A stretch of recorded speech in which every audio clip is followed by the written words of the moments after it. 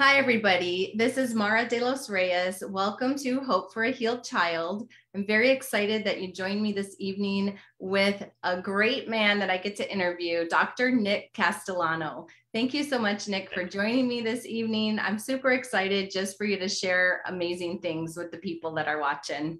Thank you, Mara. I appreciate it. Thank you very much.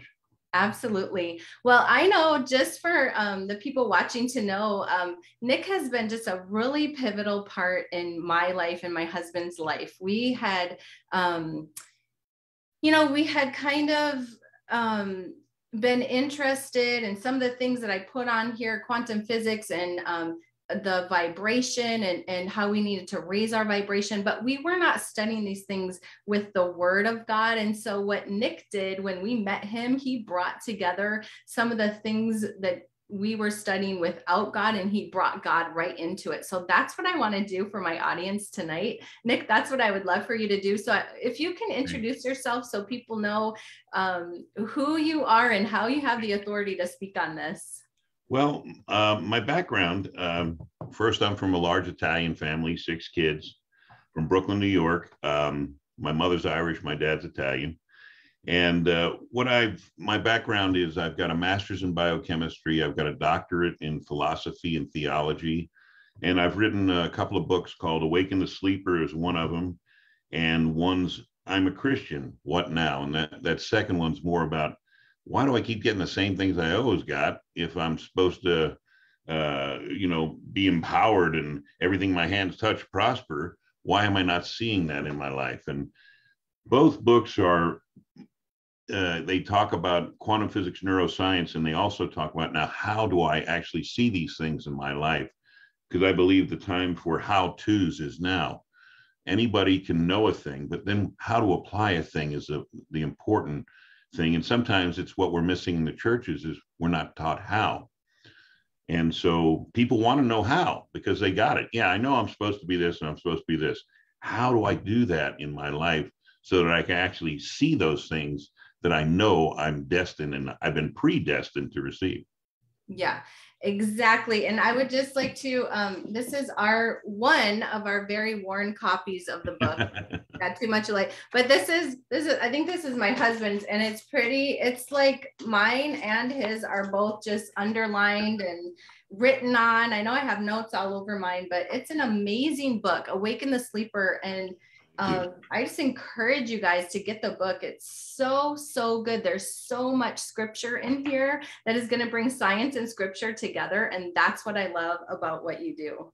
Well, thank you. I appreciate that. Absolutely.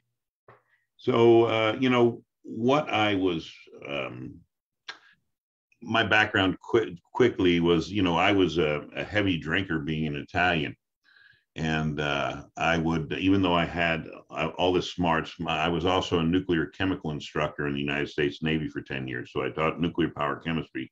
So very aware of atomic things and all of how everything works in the subatomic level. And, uh, but you know, the drinking was something passed on from my grandfather, my dad, and uh, somebody had to say no more. So I'm in a prison cell hugging my son through the bars. And uh, I uh, realized, look at me, I've got all these degrees. I'm a nuclear chemist and I'm hugging my son through the bars. And so I said, uh, got on my knees and, and said, God, please take this from me. And I think I heard him say, finally. So from that day on, I never had another drink. But that started my uh, search for truth and I wasn't, you know, I was raised Catholic, so I really didn't know much truth. I just knew what they told us. And I knew that according to them, I was a worm in the dirt because Jesus was up on that cross and look what I did. And uh, so uh, I started seeking truth. And for me, I started seeking it through the only way I knew to seek truth, which was through science. But when I was seeking it through science, I also used the Bible and I translated the Bible from from English to the Greek and the Hebrew so I can know what it was really saying. Because so many times these 58 different translations that people use are not very accurate to exactly what the word was saying. And it does make a bit of a difference in um, how you receive the word. So that started my that started my quest, if you will. And then I went to a thing called Promise Keepers, and I was uh, wiped out there. Realized that I needed to become a real man, and uh, that's when everything started to change. When I started to see, and God was guiding me to all these truths that science, neuroscience, and quantum physics had that the New Age people were using, but we in the body of Christ were not using because we, as soon as a New Ager would use the principle, we would back away and go, oh, it's of the devil, it's of the devil. And yet, so we we ended up disempowering ourselves. And so it got me a little crazy. So I said, well, the only way that I can get Christians to use these techniques is to find a scripture that lines up with that technique. And so that's when I began my search on finding the right language. And the language of a Christian is scripture so that they could receive the word as truth. And that's pretty much what I do throughout the world. When I go to Saudi Arabia, I've read the Quran so I can understand their ways, so that I can speak to them about Jesus in a way they can receive him, so they can receive the truth of Jesus. So you've got to not be afraid to learn the language as long as it doesn't influence you. You're there to build a bridge so they can receive Christ in their life. And they usually do that through uh, you understanding their ways.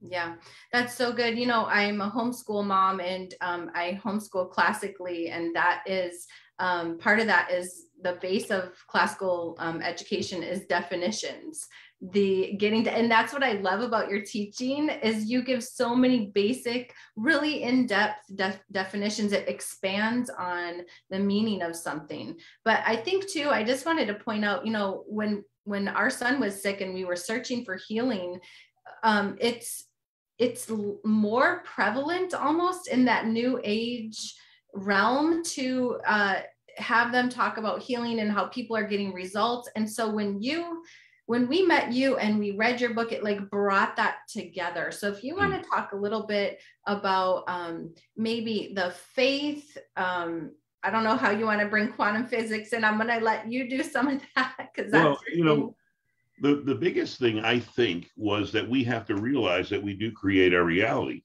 And if we don't realize that, see, it, it, it talks in Colossians 1.16 that God created all things, visible and invisible. And, and that word for create in that in that place is bara, B-A-R-A from the Hebrew. And it means to create from that which was not. We, we can't create that way. But we can asa, and that means to create from that which already is. In other words, our job is to take from the unseen, that stuff, that invisible realm that he created, and bring it into the visible realm. I mean, if he's laid everything up in the heavens for us, all our job is to have the faith to bring it from the unseen to the seen. So we have to understand that we create the reality we live in based on the thoughts and the intents of our heart. But then you say, well, I got to make sure that the word is okay with that because God's in charge. He does everything. Now he's done it. He's rested. We're his hands and feet. It's now for us to step up and do our part. And it says in Mark 11, 23, for verily I say unto you, whosoever shall uh, say unto this mountain, be thou removed and be thou cast into the sea, and shall not doubt in his heart, but shall believe that those things he saith what shall come to pass, he shall have whatever he shall saith. So it Mark tells us that we have power to move a mountain just because if we believe it in our heart, that's faith, right? And then here's the hard thing about faith people believe faith is just, oh, I believe, I sure. No, we're, we're using faith as hope. The word hope is assurance that it's going to happen. Faith is belief with action. Believe as, and then do something as if it's going to happen. That's when you bring the unseen to the seen, when you have that belief and then you act as if. It says, with joy, supplication, and what? Celebration or thanksgiving. Why would you thank be giving thanks to something that hasn't happened yet? Because when you do, you bring it from the unseen to the seen. Not someday, I sure hope, because then you're always living in yesterday. I sure hope, I sure hope, but you're never getting to the place of when it's happening. So you have to celebrate it now. And then you'll find out your tomorrow's different because you're celebrating something in this now moment. And see, it's so important to know this now moment, this right now moment is the only time you have power. It's the only time you're lined up with I am. you know, we have a problem in our in our society that we end up in regret of yesterday and fear of tomorrow. But we have a tough time being in now. And now's the only time we're aligned with Papa God. And now's the only time that we can wield the power that God has for us to wield because we're his hands and feet. But if we can't get into now and we're regretting yesterday and fearing tomorrow, we have no power. Yeah, I would just like to point out that is so key. Those of you listening, like this is one of Nick's Dr. Nick's big thing is the now. And in the um it's Hebrews 11, 1, it says now faith, and there's no comma. There is no right. comma in that. It says now faith. That really changed my way of viewing that scripture when I heard that. I was like, wow. I think that's so important. It changed me too, because every time I, I'd heard it taught, it was now, pause, faith. And well, there's no comma there. It's now faith. There's only one kind of faith that has power now faith, not yesterday faith and not tomorrow faith, but only now faith. And go ahead. I was just going to say, maybe give a little example. So, how does how can somebody live in a now faith versus yesterday or tomorrow? Well, for me, I create my day every day, right? So, uh, and and everyone out there can do the same thing I do. You know, we were created for relationship with God. It's the whole reason we were created was to walk in the cool of the garden with Him. And it seems like it's the only thing that we don't have time for oh, maybe we read a scripture here or there, we read, read the word a little bit, but do we get quiet, sit in this now moment, and hang out with Papa God? Can we do that? And see, so the first time I did this, this was, I was like, I'm, I'm going to find out if this is right or not. So I got quiet and I, I saw myself go up to the throne room in my mind's eye when I finally got to this now moment. Now moment is tough to get to because you're meditating, you're you're listening to your breathing, then you're listening to your heartbeat. Then the only thing is you, and you can feel the essence of you. And then I feel myself going up to heaven, and I go into the throne room. And you know, I don't want to take you through it because it would take too long. But the point was when I sat on God's lap and we were chatting, he said to me, What do you want to create together today? And that's when I realized he just wants to co create with us, that it's all about relationship. So I had this stock, and I'll just share, and was I had 500,000 500, shares of this stock, and it, I had it for three years, and it still hadn't gone public. And they were talking about making it public, making it public, making it public. And so I told God, let's create this together. He said, he chuckled, okay. And then, you know, I was, I left heaven. That day, not kidding, that stock went public for $7 a share, co creating with God. And then all of a sudden, in one day, I had $3.5 million because I took the time to understand what was more important hanging out with God or doing my little toily things that I have on my Franklin daytimer. Mm. And you know, the thing I've realized is when I start hanging with God, a lot of those toily things go away because now I don't even have to deal with them because they took care of themselves because I did the thing I had to do, which was spend time with God in the morning. For me, it's early in the morning. Yeah, and um, a lot of the people in the self development world, like they have no problem with this. Um, this is just some of the things that are taught, really basic principles, and they don't have any problem uh, getting wealth either. And I just want to point out to those people who might be like, oh my gosh, I can't believe he just said that he made millions of dollars and that's what it means to be with God. But guys, the kingdom of God needs our wealth, needs the needs the wealth to be brought down from heaven and to be used for God's purposes on earth. Amen. And most of us can't receive it because we we remember the bad things we did. And so how can I receive any wealth? That's been laid up for me. Well, if we believe we're Christians, and I believe we do, then our sin is blotted forward and back. There is no sin.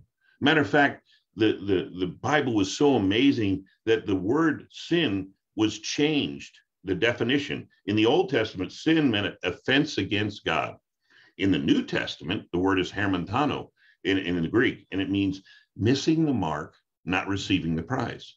That's all it means. You missed the mark. Okay, brush off, repent, which means let's let's think a little differently. Let's think a new way. So we're going to try it again. Now let's take another shot. Not oh, I'm just a sinner. I'm never going to see it again. No, no, no, no. No, that's a that's a quitter. We repent, we aim again, and we take another shot. Yeah, and I just want to read um, a quote from your book, and this is on page 28. It says, You can't fake a place of peace, joy, and love and think you will receive anything. Your heart and your head must vibrate in unison, lined up with God through Jesus Christ in peace, joy, and love. And, and then it goes on to say, God told us to focus on these things. And I just love that because it's that um, it's that vibrating up at the level of heaven into the peace, joy, and love, which you that's one of your passions to talk about as well, and how important that is as we're doing that in a now moment. Yeah, it, I think a lot of it has to do with a lot of people, and and especially me, Italian, a lot of uh, uh, ethnicities believe that emotions are in charge of them. But we've got to understand that we're the boss of our emotions. And just because an emotion comes up, it doesn't mean I have to let it take me down the rabbit hole. I say, oh, thanks for sharing. Okay, I see that emotion. Let me see now, where did that come from? Why am I feeling that way? Okay, now I need to get the answer to this. So let's get back into the only place where the answer exists peace, joy, and love. So that's the kingdom environment, right? Your, your peace, your, your peace is the environment, joy is your emotion, and love is your weapon because love conquers all. So we have to get ourselves on purpose back to that place of peace, joy, and love. And how I do that is I read my I am statement or I fo- um, I have my gratitude list that gets me back. These are tools that you use when you're losing it. Okay, I'm in a bad place. What do I need to do? Okay, let's stop the day right now. Let's get back into a good place of peace, joy, and love. Use my tools. And now I can start the day over again anytime I choose. I don't have to give away a whole day. I just had a bad moment. Yeah, that's so key, Dr. Nick. What you're saying is that you have to be willing to stop your day.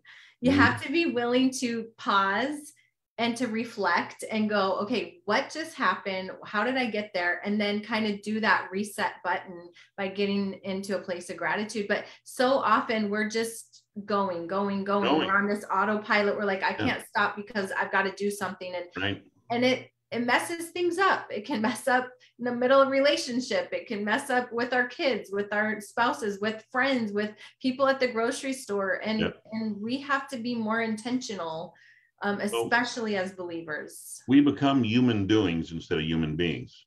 We forget how to be. And, and one of the most important things, why do I stop? Because I'm resonating now at a place of anger, fear, worry at a low frequency. I'm my I am physically resonating down there. And don't tell me you can't feel it because you know when somebody walks into a room and they're not in a good place, you can physically feel their energy. Now I'm vibrating down there. What am I going to bring into my life? More things that uh, more things that give me fear, lack, and worry. Because see, the universe was set up assuming I knew I'm in charge, assuming I knew that I create my reality. So if you're vibrating at fear, lack, and worry, you must want more things that bring fear, lack, and worry.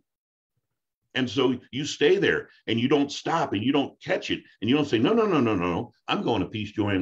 because that's where I'll see the things I want to see in my life. But too many of us go down to fear, lack, and worry. And then we have all of a sudden this uh, day that is of the devil. This happened, and this happened, and this happened, and this happened because we never took charge of our emotions and said, no, I'm going to get back into peace, joy, and love. See, emotions want to be in motion, but you're the boss of your emotions. We've got to understand that. It's... Now, scientifically, and I'll just do it quick, just so they know there's science behind it. When in a when you uh, have an event happen, you create a picture in your mind. When you have a picture in your mind, that picture uh, has an emotion or attached to that picture. Now, the hypothalamus in your brain releases these neuropeptides that throat, float through your body and key lock into every cell of your body. And when they key lock into your cells, you vibrate at that frequency so that you can tell when somebody's in a great place or you can tell when somebody's in not so great of a place. You can feel them. And so that great place or not so great brings more of those things back into your life. So that's why you can go from glory to glory to glory, or you can believe the old adage that bad things happen in threes. Mm. So if two have happened, all right, and you believe it's truth because you have faith in it, the third will happen because you're you're the creator of this reality that you live in. So can you, because those are creating um, brain um, patterns, like the, when you keep thinking the same way and it's a negative thought and you're, and every time a similar situation happens and you're going to go down that same pathway. So how do people get out of that? Uh, how do they change that groove? You said they key locks. So how do they like change that? Well, one of the things is you've got to have tools that bring you back into the place of peace, joy, and love. How I, now, this is how I do it is right now I start remembering my future. Well, what does that mean, Dr. Nick? Well, I see what I want to happen in my mind's eye, and I see it in the future that it's coming. But I'm doing this in the now moment, but I'm seeing the future. And now I'm so powerful, I'm starting to feel the future, and I'm feeling myself in that place of the future. Now, when I'm starting to feel and see I'm in that future, I'm creating this now moment, new axons and dendrites in my brain, new ways that the, electrical circuits can travel, new thought patterns. It's the you know it's the thought you feed that survives. It's the dog you feed that lives, right? And if you keep feeding that same old negative thought pattern, you're going to have a super highway of negative thoughts, and it turns into a response, and it's just the way you show up. But if you capture it, it says capture each thought and hold it up to the glory of God. If you capture that thought, now you go, huh, I'm going to remember my tomorrow by I'm going to see myself in the tomorrow I want to see myself in. And then the emotions start to be released. And now you're already there. You're already releasing oxytocin in your body, which is a healing chemical. And because you're feeling so grateful about something that hasn't happened yet, but the Bible tells us to do that over and over because we got to understand we are a creative force. Or if we don't believe that, then we're going to be created upon by some other creative force. And that's so good. I just really encourage you guys to get this book because it, it gives so much detail and explains it really well on how to do that. Um, Dr. Nick's given a lot of key tools to you right now, but it does take practice. It yes. takes it takes practice and doing it again and again. And then if you know you go into that old thought pattern you just have to shift back and you know and that's the big thing you just said. Don't beat yourself up. Okay you're there. But you know what? You're only there a day this time. Good job. Next time you're there 12 hours. Good job. Next time you're there six hours. Next time you're there only an hour. Next time what? You captured the thought. Yeah. You never went there. Because you're learning how to use those muscles. You're learning how to use your empowerment muscles so you can finally get to the place where you you know that the emotion you feel oh signpost warning i'm going down the wrong path. I'm going to capture that thought. And let's look at it. Not push it away. Why do i have that thought about this situation? Something is there. What's going on? Because typically when we push it away it becomes bigger and badder hiding in the dark than when we bring it out into the light. Yeah so good. These are so these things are so important. I wanted you to share your story about your friend in the middle. Oh. Yeah, that's such a good one. And then we're gonna go because I feel like that ties right into identity. Okay.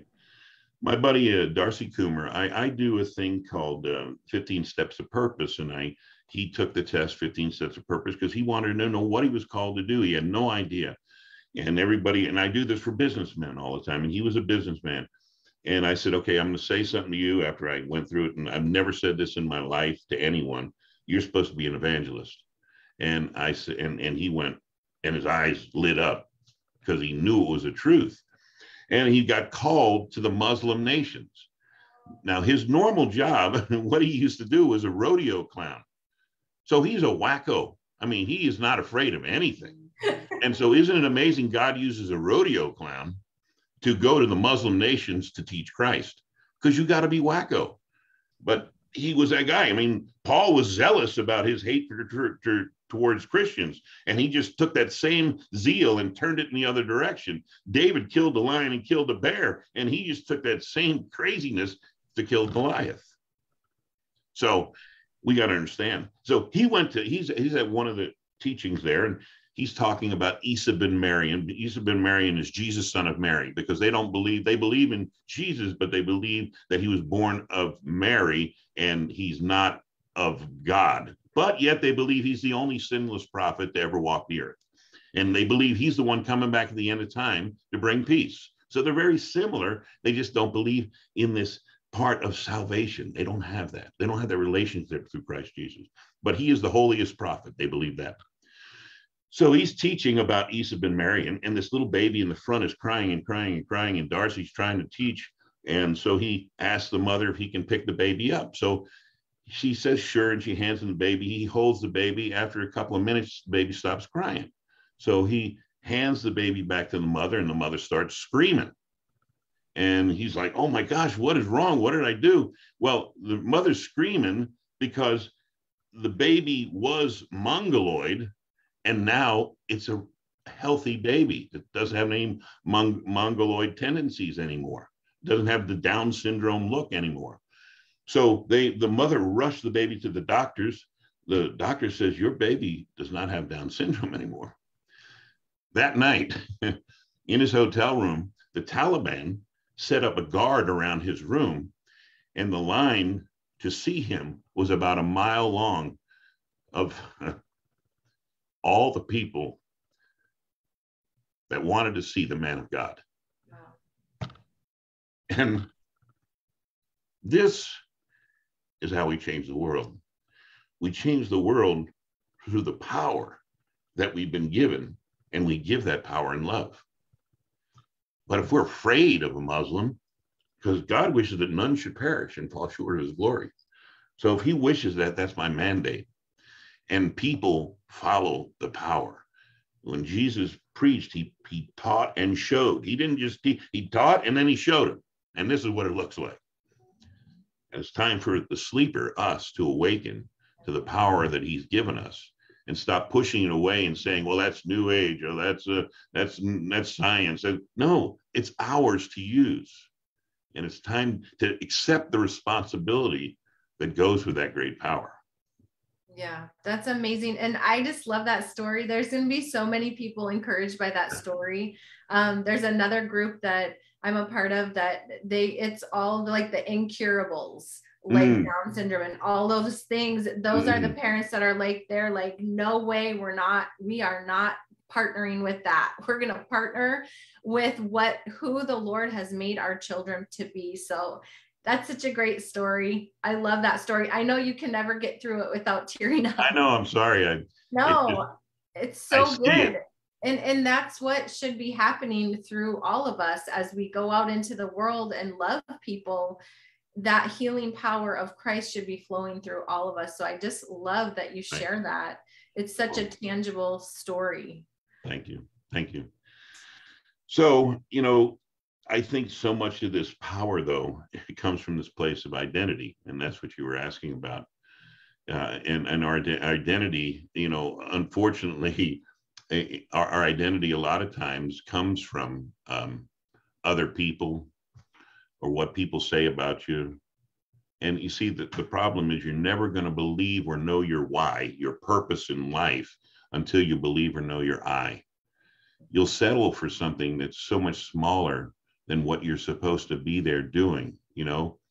And and so you know one of the things me for science that, that i had to understand was that the theory of evolution it kills um, identity. If if i came from a protoplasmic ooze that some amino acids accidentally spilled into then and then what value does my life have this is what the kids are being inundated with. Yeah. So if that's a truth, then I have no value. I was an accident. And so that's why youth suicides go up to crazy numbers because they believe, because it's being taught with such zeal, that this is a truth. Yet, me being a nuclear chemist, uh, it violates the second law of thermodynamics five times. So if a theory, which evolution is a theory, violates a law, you have to throw out the theory. And see, the problem with most parents is they don't arm their children with the truth that how this violates the second law of thermodynamics of chemistry that that all things are going towards a state of chaos all things are going from less complex i mean more complex to less complex that's how everything goes that's the law that's the second uh, that's the second uh, that's the second law of thermodynamics chemistry that everything goes from uh, more complex to less complex but in evolution it goes the other way mm. so you know i could just I, I, if you want me to i'll just take you through the five things quick Sure. Okay, the five things are simple molecules must evolve into complex molecules. Entropy goes down because it becomes more complex. That's a violation of the law. Complex molecules must evolve into simple organic molecules. Violation of the law, entropy decreases. Simple organic molecules must evolve into complex organic molecules. Entropy decreases, violation of the law. Complex organic molecules must evolve into data in the data storage, self-replicating molecules such as DNA, entropy decreases, violation of the law. Finally, all these molecules must combine and organize at the same time into a self-sustaining, self-replicating living cell, which now must assimilate food, respirate, grow, respond to stimuli, and reproduce, huge violation of the law. Evolutionary theory takes great faith hmm. because it violates their own laws. So yeah. I, I, I like to say that you know you know we know Hebrews 11 one now faith is the substance of things hoped for the evidence of things not seen. So I say Darwinism 11 one is uh, now the faith of the evolutionist is the substance of fossils hoped for and the evidence of missing links never found.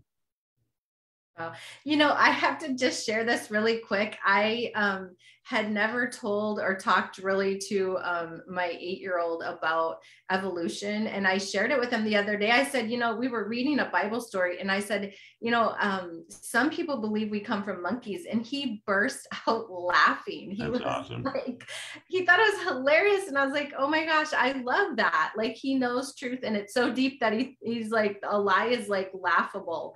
That's so, great yeah so parents oh my goodness you know there's so many lies that violate the laws of god um, that are happening in schools right now. So really be prayerful over your children. I know today is a national day of prayer. So nick if you would close us out in prayer and pray specifically just even for um, the parents are hoping for their heal- child to be healed that would be amazing. Amen. You want me to do that? Ready? Yep Dear Father God, we thank and we praise you today. We thank you that you've given us all power, dominion, and authority through Christ Jesus. We thank you that what we lay hands on will vibrate and line up with the way it should be. That when we lay hands on someone, that you are working through us, and based on our emotional state, which we will be in peace, joy, and love, when we when we lay hands, we have the expectation that it is done There'll be no trepidation, there'll be no fear, just thanksgiving, knowing it is done. So we thank you for this power right now, Papa God.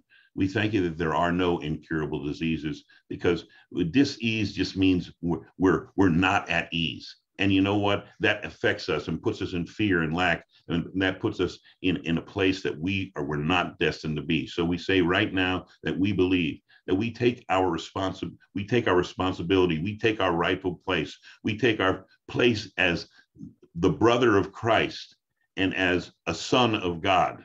We take that place right now, knowing that when we lay hands, when we believe it to be, it will be, and we see it done, and we give thanksgiving and praise, and it's all for your glory, all to magnify you. In Jesus' name we pray. Amen. Amen. I felt the Holy Spirit. I hope that you guys did too as well. Dr. Nick, thank you so much for joining me this evening. I just love all of your teaching and your heart. I'm going to post your website link as well so people can um, get connected with you. And I just encourage you guys again, get the book um, and get the other one as well. We actually had it, but gave it to our older son who read it right away. So love that. All so right, thank, you, you so much. Have a wonderful evening. All right. Bye-bye. Bye.